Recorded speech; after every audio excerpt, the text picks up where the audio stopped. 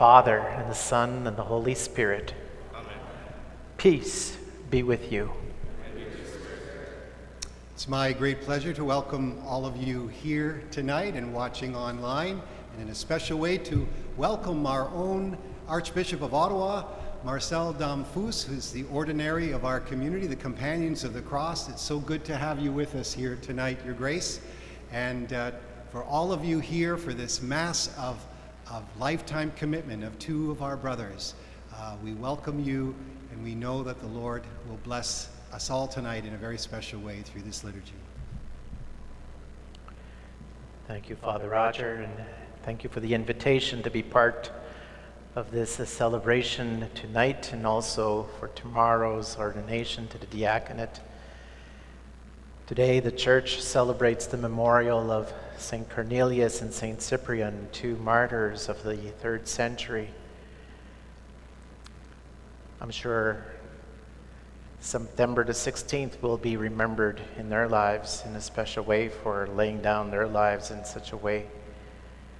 I know September 16th means uh, something to me as well. In 1984, St. Pope John Paul II was touring Canada and on the 16th, he stopped in Manitoba to celebrate Mass at Birds Hill Park, and that was my first time seeing a Pope in the flesh. So I remember that day in a special way, so I pray that both of you may remember this special day of your lifetime commitment um, to the companions of the cross. We pray that the, the martyrs that we celebrate tonight may be. Uh, patrons for you and how to lay down your own lives till the very end. So let us prepare our hearts to celebrate the sacred mysteries as we acknowledge our sins and call upon the gift of God's mercy. I confess to Almighty God and to you, my brothers and sisters, that I have greatly sinned in my thoughts and in my words, in what I have done and what I have failed to do through my fault, through my fault, through my most grievous fault. Therefore, I ask Blessed Mary, ever Virgin, all the angels and saints, and you, my brothers and sisters, to pray for me to the Lord our God. May Almighty God have mercy on us, forgive us our sins, and bring us to everlasting life.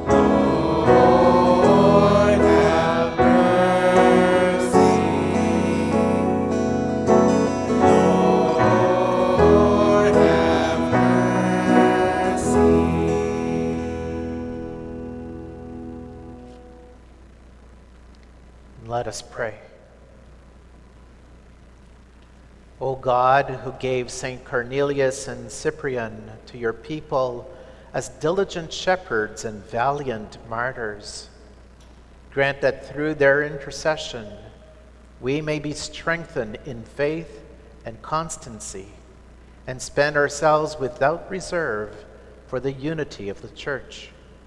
Through our Lord Jesus Christ, your Son, who lives and reigns with you in the unity of the Holy Spirit, God forever and ever. Amen.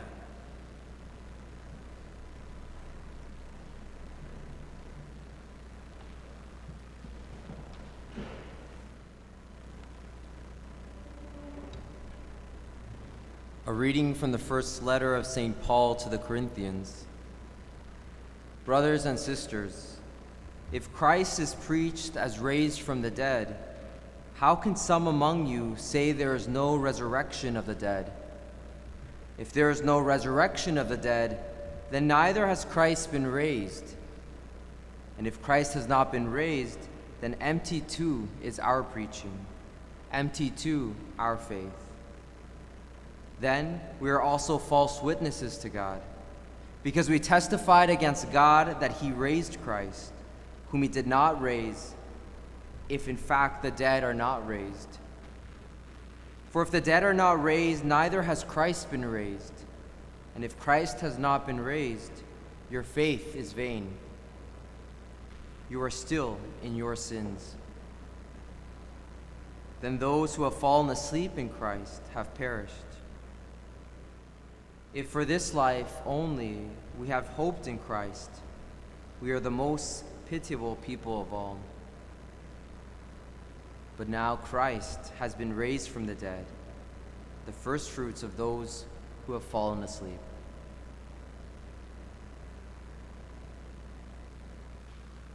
The word of the Lord. Thanks be to God.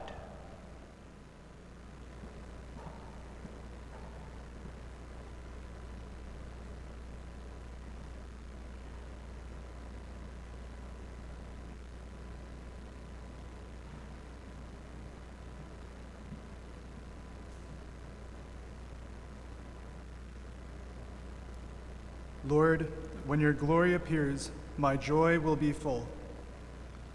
Lord, when your glory appears, my joy will be full. Hear, O Lord, a just suit. Attend to my outcry. Hearken to my prayer from lips without deceit.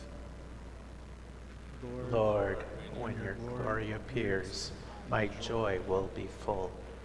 I call upon you, for you will answer me, O God. Incline your ear to me, hear my word. Show your wondrous mercies, O Savior of those who flee from their foes, to refuge at your right hand. Lord, when your glory appears, my joy shall be full. Hide me in the shadow of your wings, but I in justice shall behold your face. On waking, I shall be content in your presence. Lord, when your glory appears, my joy will be full.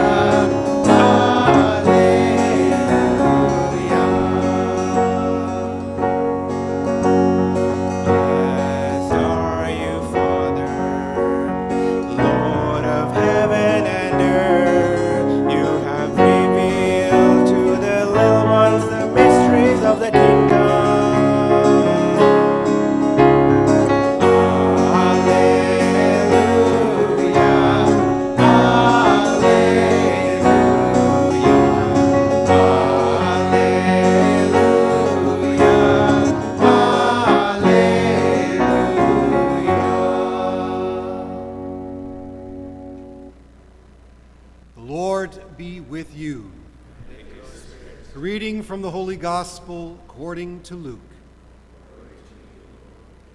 Jesus journeyed from one town and village to another, preaching and proclaiming the good news of the kingdom of God. Accompanying him were the twelve, and some women who had been cured of evil spirits and infirmities. Mary called Magdalene, from whom seven demons had gone out. Joanna, the wife of Herod's steward Chuza, Susanna, and many others who provided for them out of their resources. The Gospel of the Lord.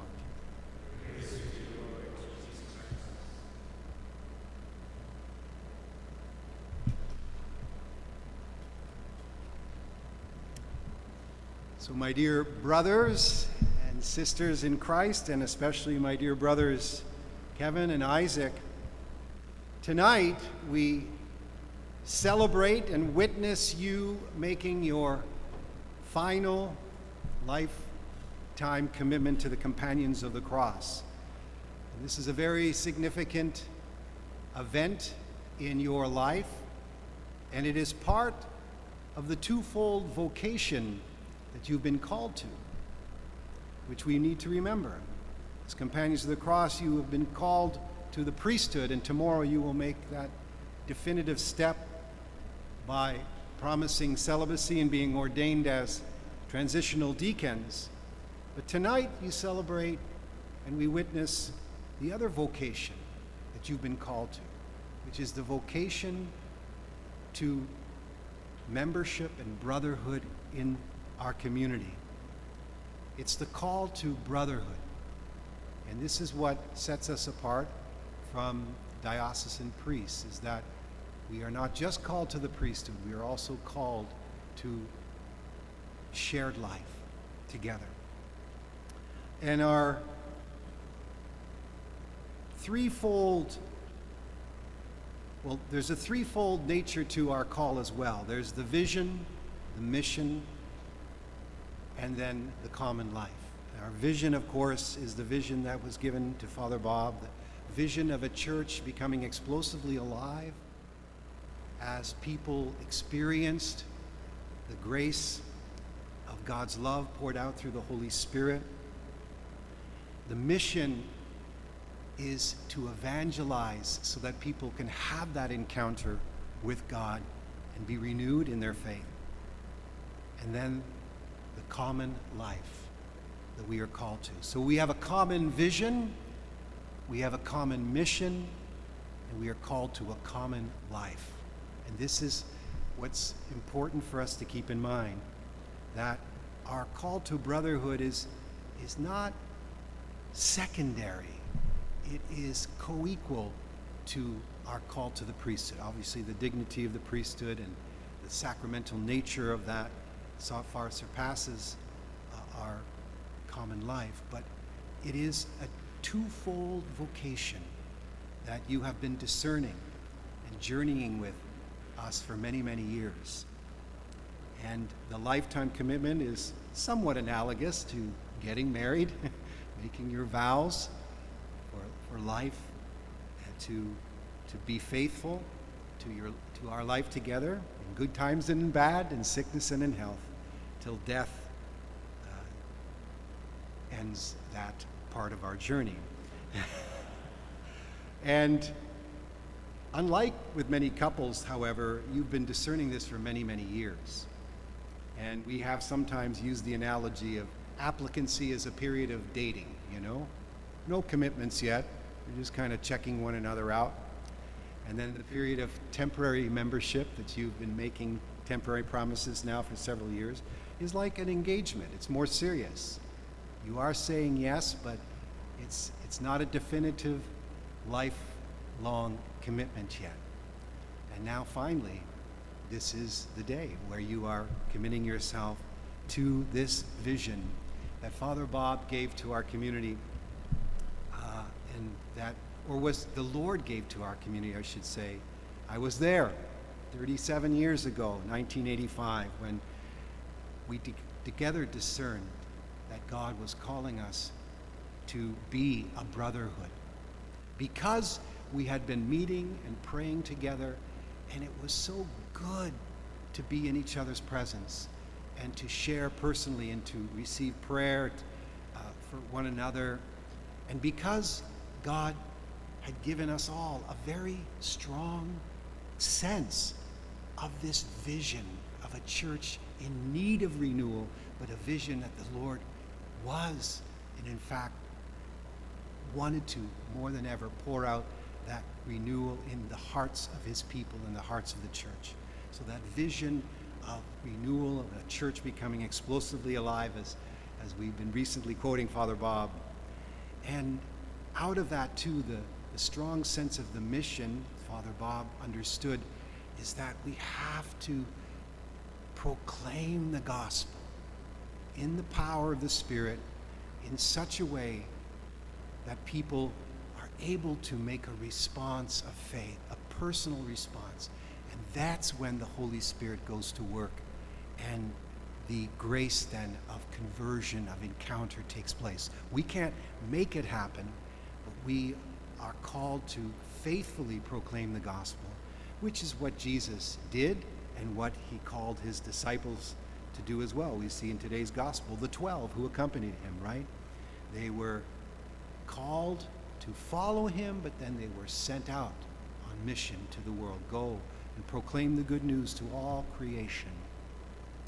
And so, again, but we do this as brothers. We do this in community.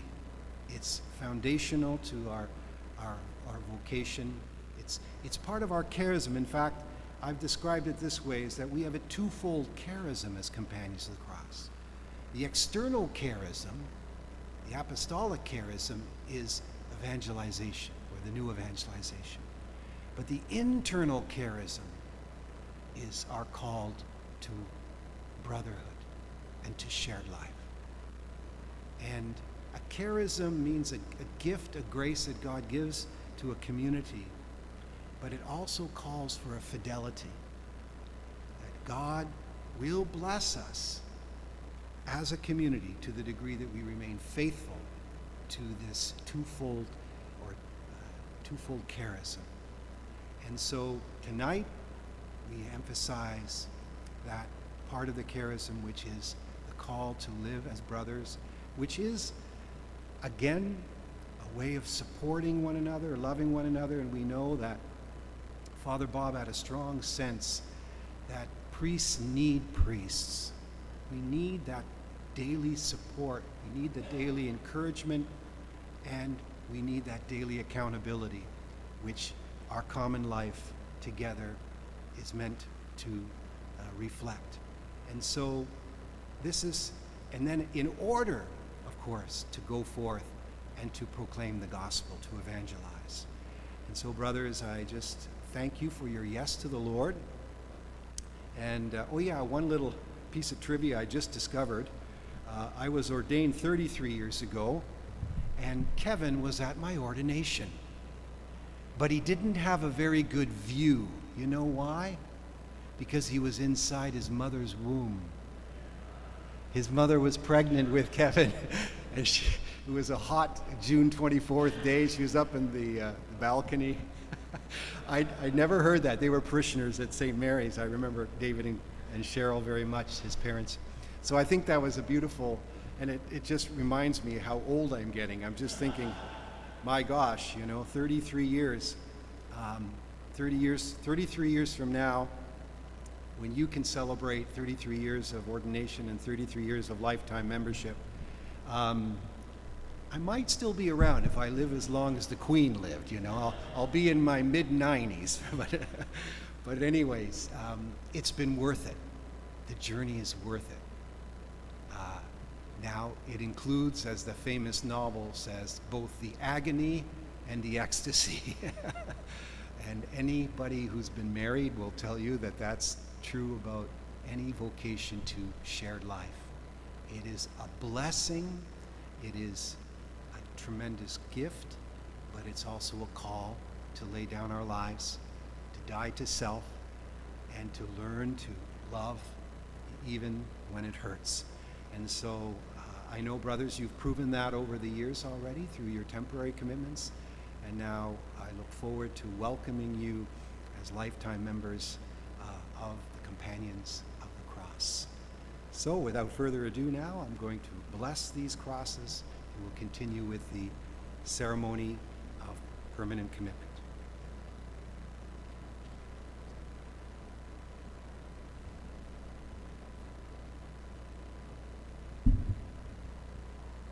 Bless these O Lord Jesus Christ, for by your cross you conquered the domain of sin and death and reconciled us to the Father.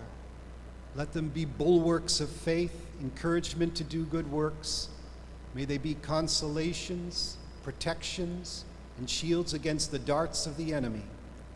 May our brothers who will wear these crosses and who on this day commit themselves for life to our community receive generous grace from you, O Lord, to persevere until death and prosper in these commitments.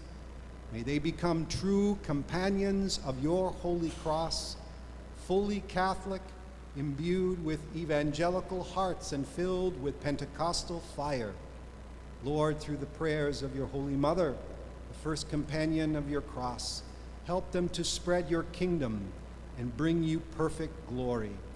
O Christ, crucified power and wisdom of God, through your cross, may they triumph in this life and be received by you into the reward of life everlasting. You reign forever and ever. Amen.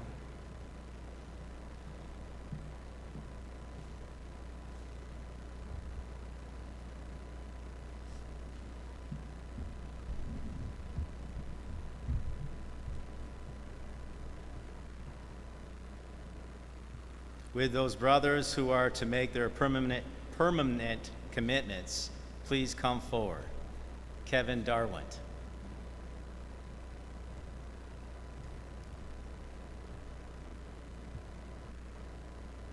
I, I, Kevin Darwent, relying upon the grace of God, the intercession of the Blessed Virgin Mary, and the support of my brothers, freely promise before you, Father Roger Vandenakker, to follow the constitutions and rules of the Companions of the Cross for the rest of my life, for the greater glory of Christ and his holy cross. In the name of the companions of the cross, I receive your promise.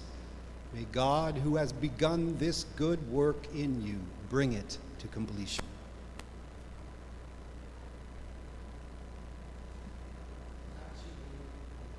Deo gratias.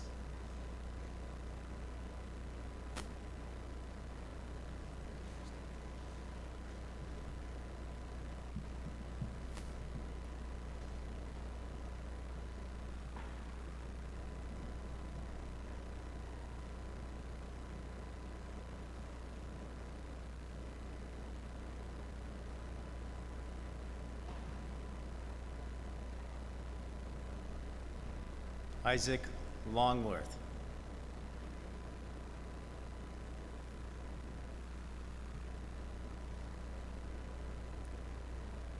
I, Isaac Longworth, relying upon the grace of God, the intercession of the Blessed Virgin Mary, and the support of my brothers, freely promise before you, Father Roger Vandenakker, to follow the constitutions and rules of the Companions of the Cross for the rest of my life, for the greater glory of Christ and his holy cross.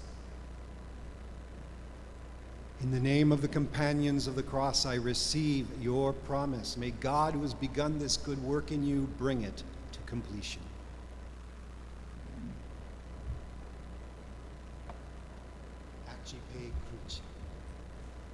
Deo gratias.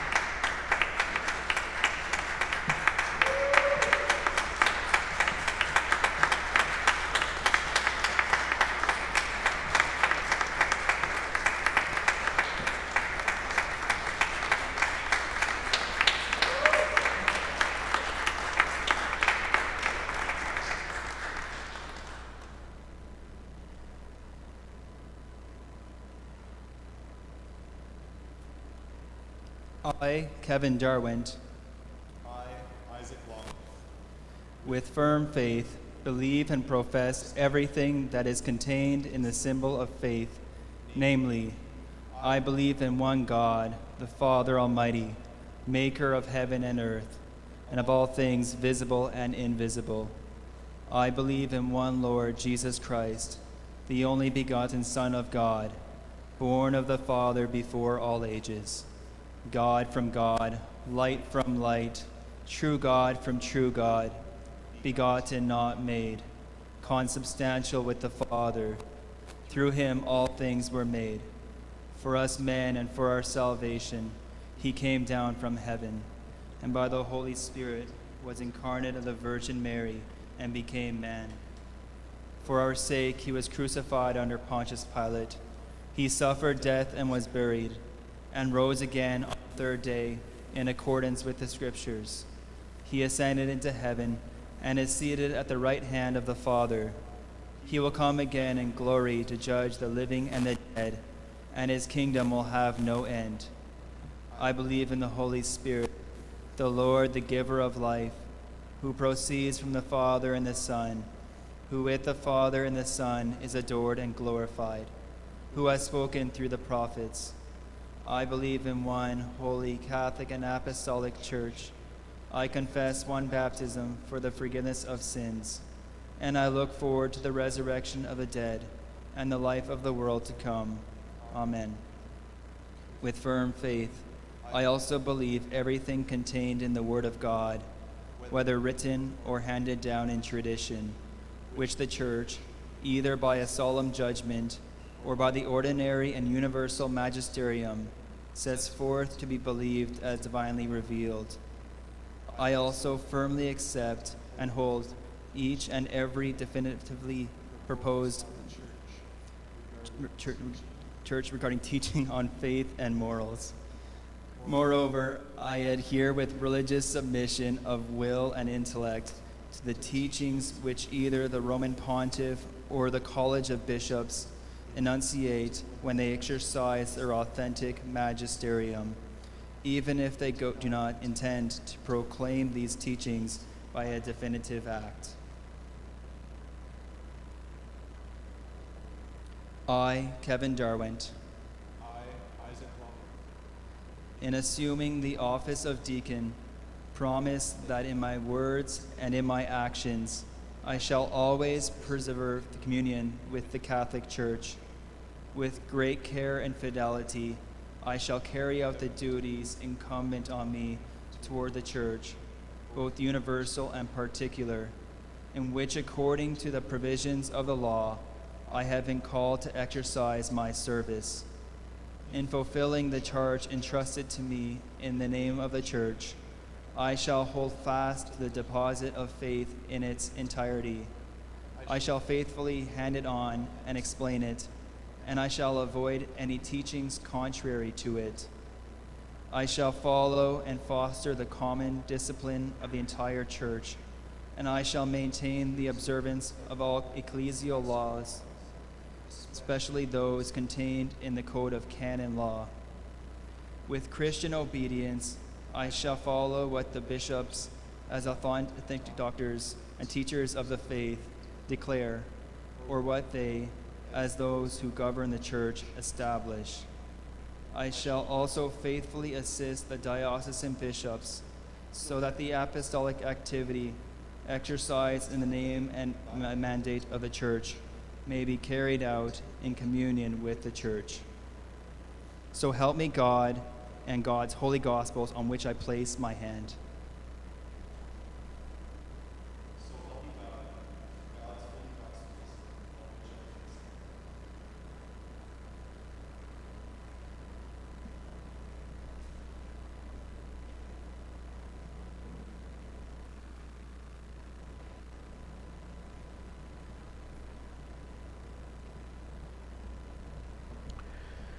Church was formed from the side of Christ as he slept the sleep of death upon the cross. Through the sacrifice of Christ and gathered in the church as God's people, we confidently address our prayers to him. We pray for our Holy Father, Pope Francis, and the bishops under whom we serve, that they may be strengthened and encouraged in their ministry of shepherd of souls. We pray to the Lord Lord, hear our prayer. For the ongoing conversion of the Church, stronger fidelity to the magisterium, greater love and devotion to the Blessed Virgin Mary, deeper openness to the work of the Holy Spirit, and increased reverence and desire for Jesus as he comes to us in the Eucharist. We pray to the Lord Lord, hear our prayer. for the companions of the cross, that we will always strive by our life and ministry to exalt the cross of our Lord Jesus Christ, and to proclaim Christ crucified, who is God's power and wisdom. We pray to the Lord. Lord, hear our prayer. Pray for our brothers Kevin and Isaac, who this day made their permanent commitment that they may persevere and prosper under the cross, the tree of life. We pray to the Lord. Lord, hear our prayer. Father, the arms of Jesus stretch out from the cross, the sign and instrument of our salvation. Through the cross, Jesus and we with him triumph over all that oppresses the human spirit. Strengthened and nourished by the cross, we rejoice. Through Jesus, our Lord and Savior, we commit these intentions and our very lives to you, who live and reign with your Son and the Holy Spirit, God, forever and ever. Amen. Amen. The offertory hymn is 170, King of My Heart, 170.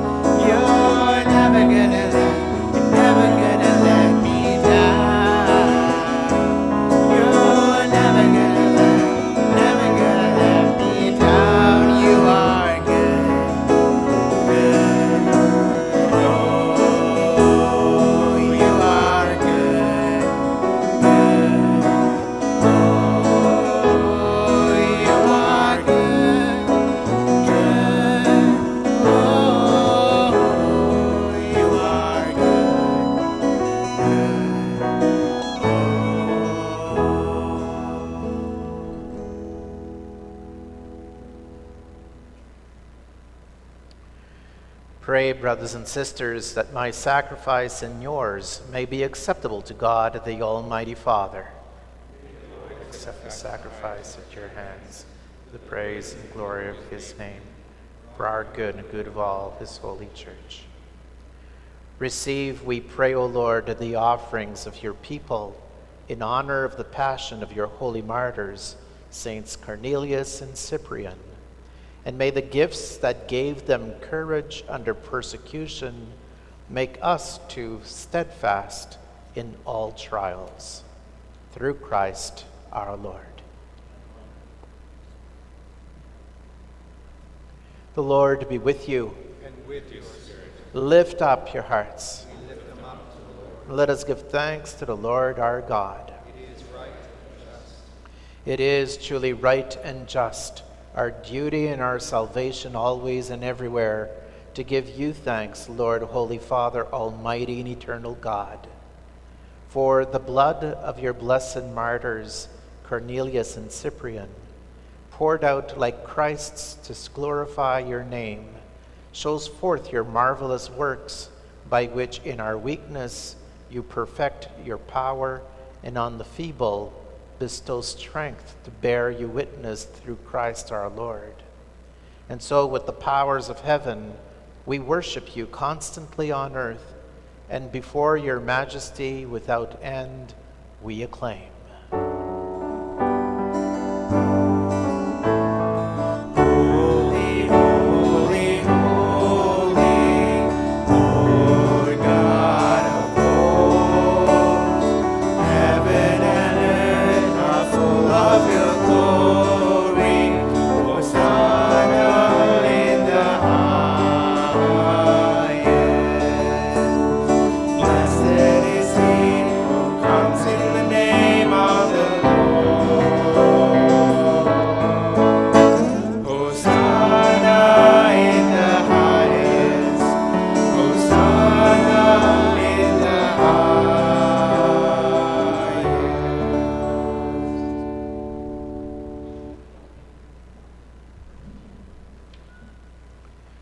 You are indeed holy, O Lord, and all you have created rightly gives you praise. For through your Son, our Lord Jesus Christ, by the power and working of the Holy Spirit, you give life to all things and make them holy, and you never cease to gather a people to yourself, so that from the rising of the sun to its setting, a pure sacrifice may be offered to your name. Therefore, O Lord, we humbly implore you, by the same Spirit, graciously make holy these gifts we have brought to you for consecration, that they may become the body and blood of your Son, our Lord Jesus Christ, at whose command we celebrate these mysteries. For on the night he was betrayed, he himself took bread, and giving you thanks, he said the blessing, broke the bread, and gave it to his disciples, saying, Take this, all of you, and eat of it, for this is my body, which will be given up for you.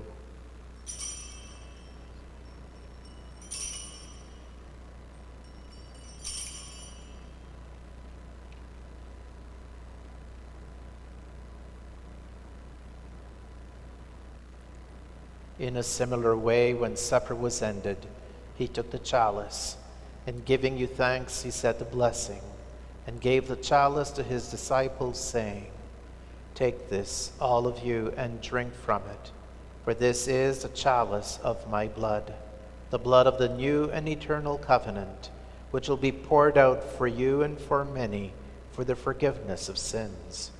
Do this in memory of me.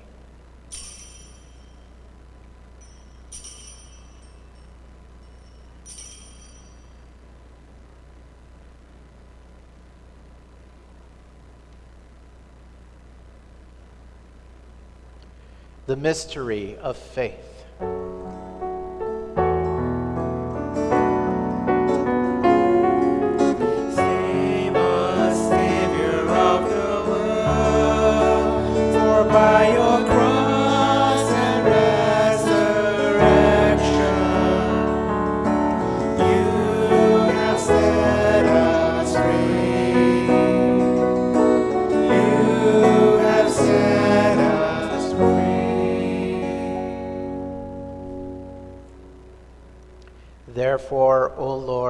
Celebrate the memorial of the saving passion of your Son, his wondrous resurrection and ascension into heaven, and as we look forward to his second coming, we offer you in thanksgiving this holy and living sacrifice.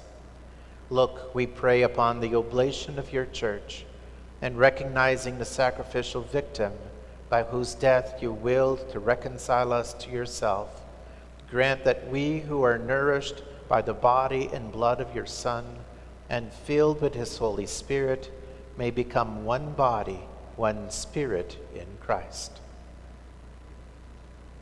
May he make of us an eternal offering to you, so that we may obtain an inheritance with your elect, especially with the most blessed Virgin Mary, Mother of God, blessed Joseph, her spouse, your blessed apostles and glorious martyrs, and all the saints in whose constant intercession in your presence we rely for unfailing help.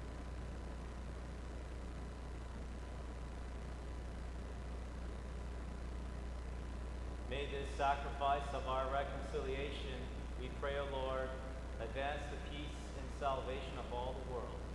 Be pleased to confirm in faith and charity your pilgrim church on earth with your servant Francis, our Pope, and Alan, our Bishop, his auxiliary bishops, the order of bishops, all the clergy, and the entire people you have gained for your own.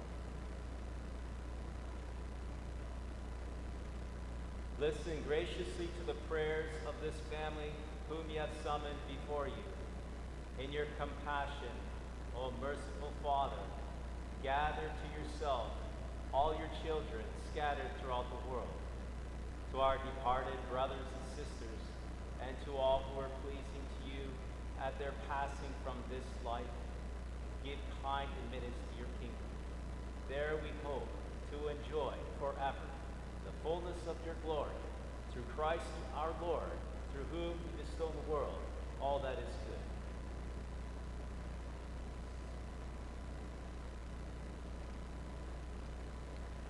Through him and with him and in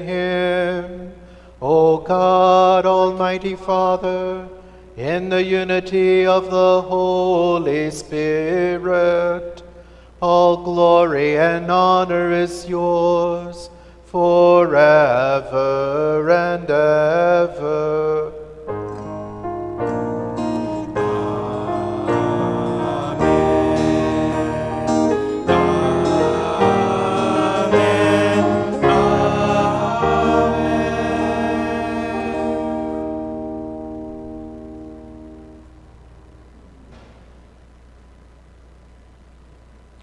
At the Savior's command, informed by divine teaching, we dare to say, Our Father, who art in heaven, hallowed be thy name.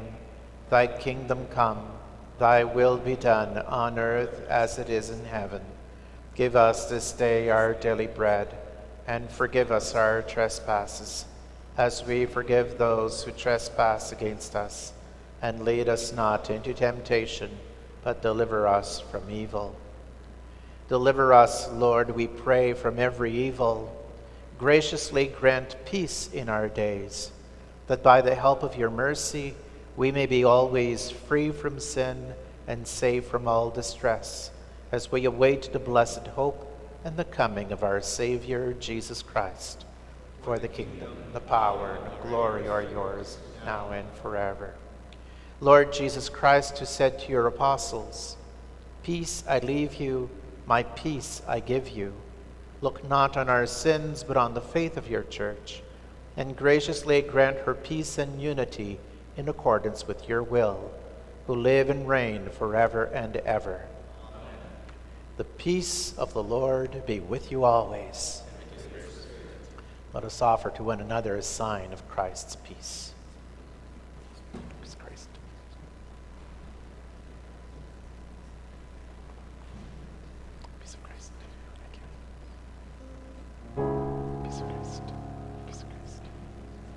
Peace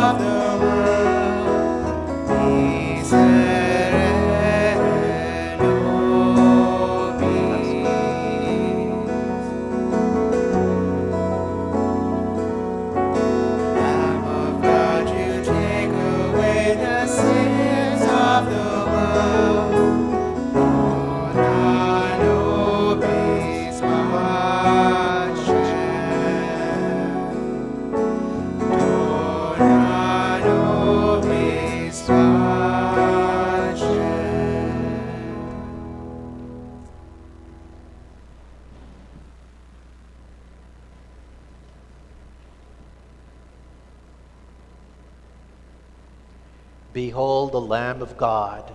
Behold him who takes away the sins of the world. Blessed are those called to the supper of the Lamb.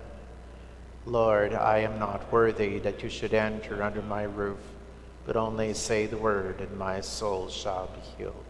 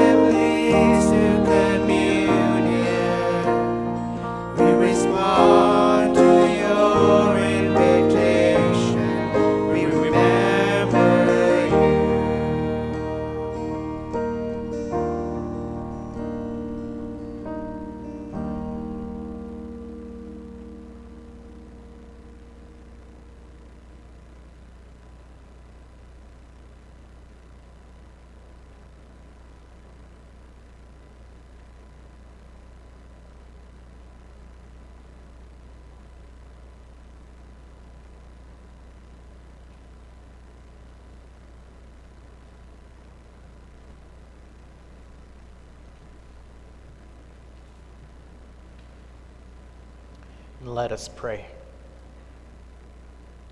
Through these mysteries which we have received, we humbly beseech you, O Lord, that by the example of the martyrs, Saints Cornelius and Cyprian, we may be strengthened with the fortitude of your Spirit to bear witness to the truth of the gospel through Christ our Lord. Amen.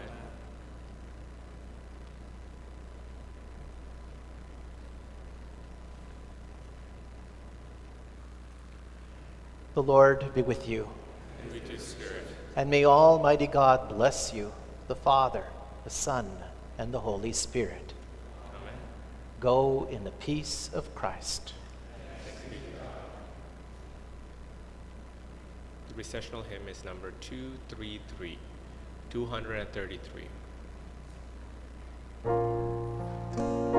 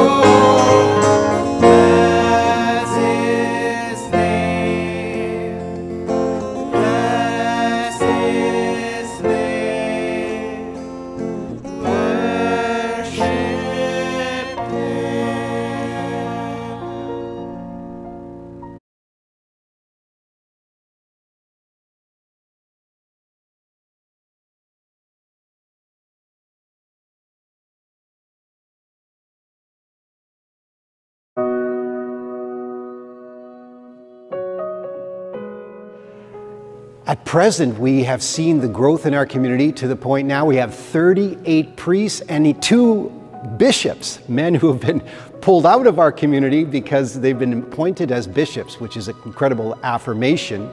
And we have currently 20 seminarians. What we've noticed every year is the vast majority of our, our financial donations and resources are going to the training, the education, the formation, the housing of our seminarians because the Lord is giving us men. He's sending us men. So that's, uh, that to me is so hopeful to see the kind of vocations that God is bringing to us every year. It really draws young men to our community because they see a community that's flourishing, that's thriving. There's something special about us in a sense, and that really draws young men. And so, in a sense, it makes my life much easier as vocation director because there's something there that they're, they're drawn to. I don't, have, I don't have to create something. They're, they're drawn to the charism of the companions. When I think of future ministry, I think of renewal. I think of revival. I think of healing. I think of transformation. I just, I just want to see what I've already seen God do in my life and in my, in my ministry now.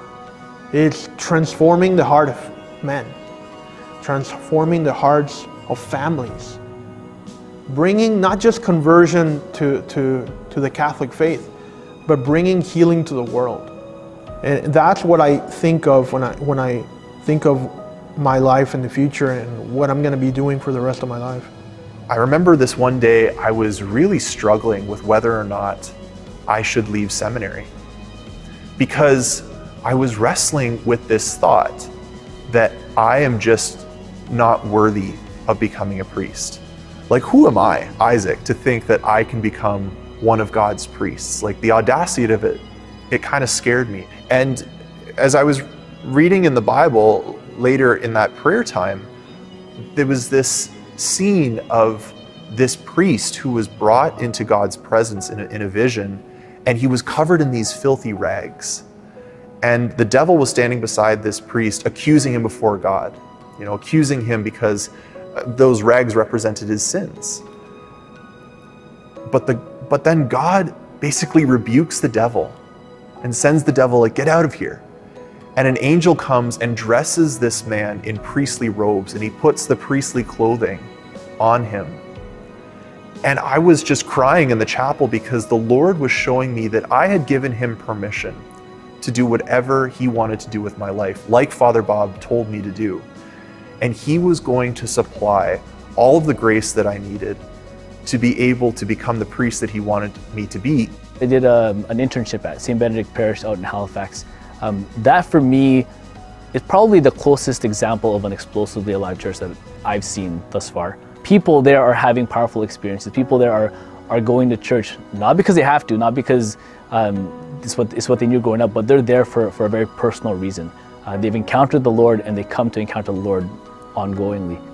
I, I think there are some, some people out there in the church, maybe even some of the leaders in the church who probably think this isn't possible. You know, we're just going to stay where we're at and, and maintain it. I live with the guys who are on fire for this, who want this to, to actually happen, who are, who are going to put their lives down for this to happen. I think that's, that's the foundation of my hope that when, once we become priests, we're going out there and we're going to do all we can to make it happen. Just as Father Bob was able to fill the church to capacity by surrendering to God, by leaving everything into His hands, I desire to bring the same thing, to bring the spirit of Father Bob back, and back not only in one church, but in many churches, in all the churches in the world.